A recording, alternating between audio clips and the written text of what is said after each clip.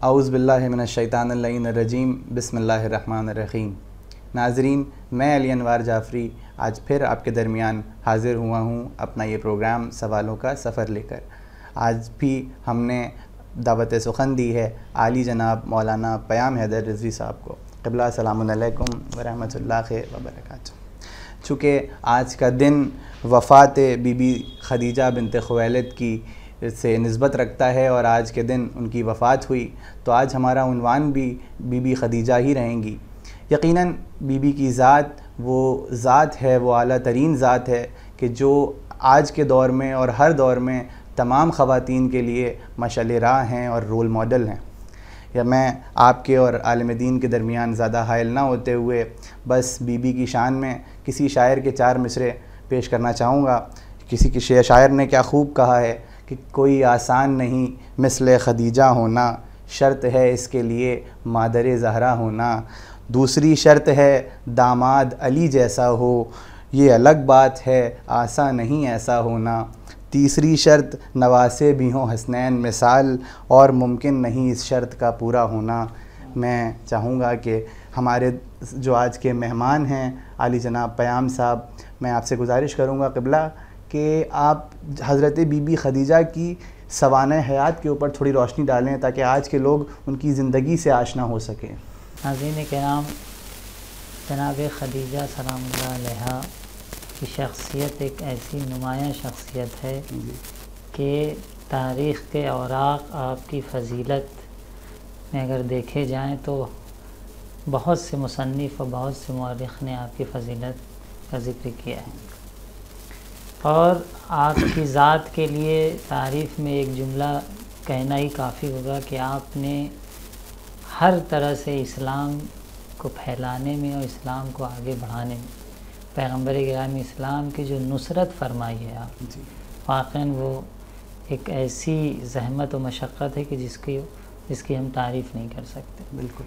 और ऐसे फ़करात और ऐसे जुमलात भी पैगंबर ग्राम इस्लाम से आपके बारे में मिलते हैं कि जिसमें आपने जनाब खदीजा सलाम की फ़जीलत में और उनके अहमियत को बताया कि आपने क्या किरदार अदा किया है। इस्लाम के फैलाने में सही रवायत में मिलता है कि आपने फरमाया कि माँ खामा वलस्तकामा दीनी इल्ला बेशन माल खदीजा व सैफ़ अली इबन अबी तालिब। ये हदीस रसूल ग्राम इस्लाम से मनसूब है कि आपने फरमाया कि इस मेरा दीन यानी वही इस्लाम का क़्याम भी नहीं हुआ और इस्तकामत भी नहीं किया इस्लाम ने मगर दो चीज़ों के ज़रिए। जी। पहली चीज़ है वो जनाब खदीजा की सरवत और दूसरी चीज़ मौलाए कायनात की शमशीर और तलवार।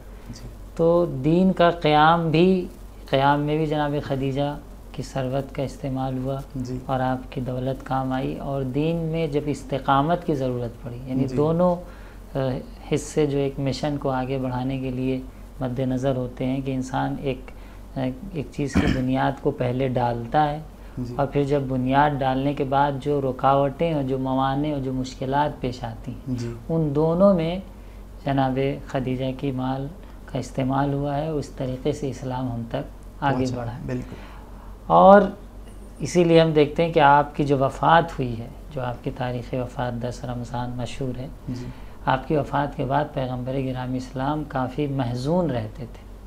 महजून रहते थे गमगीन रहते थे और बाज़ जवजात ने आपसे पूछा भी कि आप क्यों इतना मगमून हैं क्यों इतना महजून है?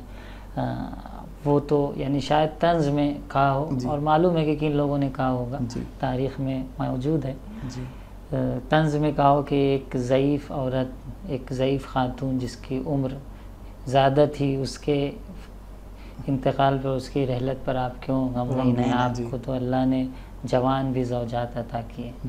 तो रवायत मिलता है कि पैगंबर गिरामी इस्लाम बहुत नाराज़ हुए। उन्होंने अपने हाथ की पुछ पर हाथ से मारा जिसे होता है अफसोस अफसोस ज़ाहिर किया जी। हाँ और कहा कि ये कैसी बात कर रही हैं और ये क्या बात तुम शहर कह रही हो जनाब खदीजा के बारे में? बल्कि खदीजा वो हैं कि मुश्किल तरीन वक्त में मेरी नुसरत करने वाली थी।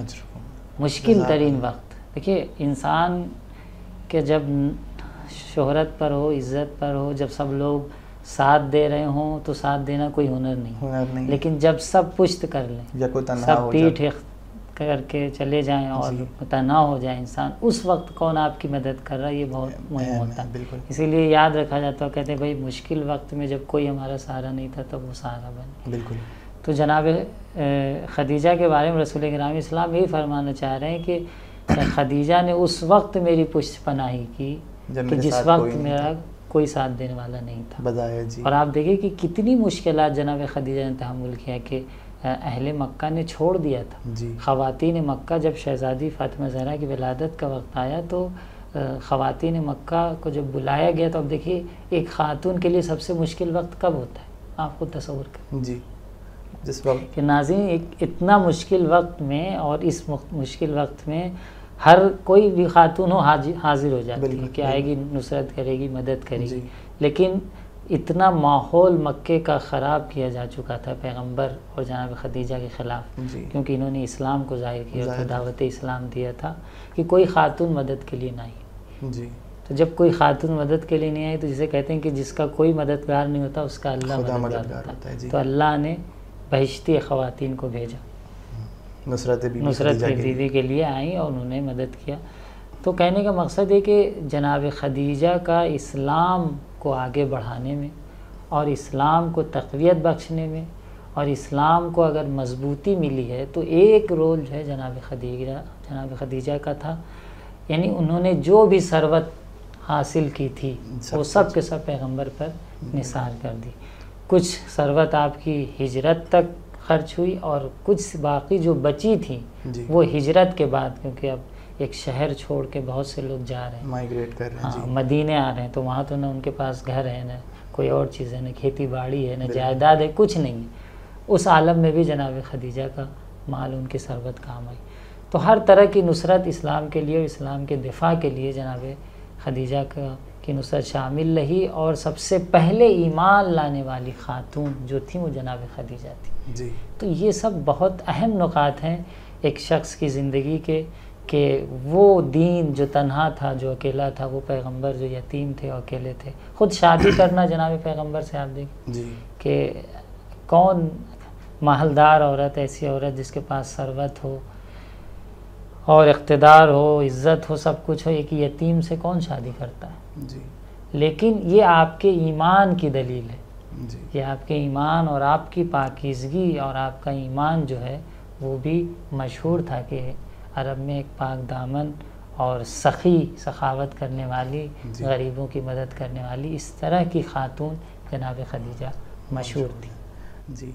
देख, नाजरीन, हमने देखा कि क़िबला ने किस तरह वजाहत के साथ बीबी खदीजा के बारे में हमें तमाम तर मसाइल बताए। हम ये देखें, इनकी बात से एक जुज़ निकला कि सिर्फ़ और सिर्फ़ इस्लाम पे ही शहज़ादी का एहसान नहीं है। इस्लाम की, यकीनन इस्लाम के लिए आप एक सुतून बन के आपकी मालो सरवत, आपके जो आपके इक़्तदार था और जो दौलत थी, वो इस्लाम के लिए एक मंबा और पिलर बन के खड़ी हुई, जिस पे ऊपर इस्लाम कायम करा गया।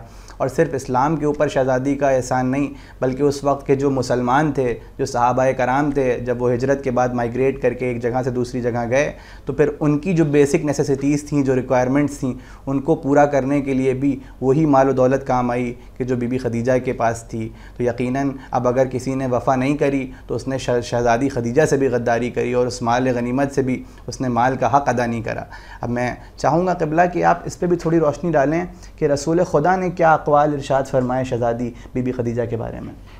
जनाब खदीजा के बारे में एक तो वही हदीस की आपकी सरवत और आपकी जो दौलत थी वो दीन की हिमायत में काम आई। और भी जो रवायात मिलती हैं कि जनाब खदीजा बेहतरीन मेरे लिए मददगार थी और यानी ख़ुद इस्लाम को बढ़ाने में और बेहतरीन वो खातून थी कि जो हमारे लिए मददगार साबित हुई। और आप देखिए कि जिस साल जनाब खदीजा की वफ़ात हुई है जी। सन दस यानी सन दस मबअस का दस दस था जी। दस तो उसमें आप ये देखें कि जनाब अबी तालिब की वफ़ात उसी साल वाक़ हुई। है तो उस साल का नाम पैगंबर ग्राम इस्लाम ने साल आमुल हुज़्न रखवा दिया जो हुज़्न का साल है।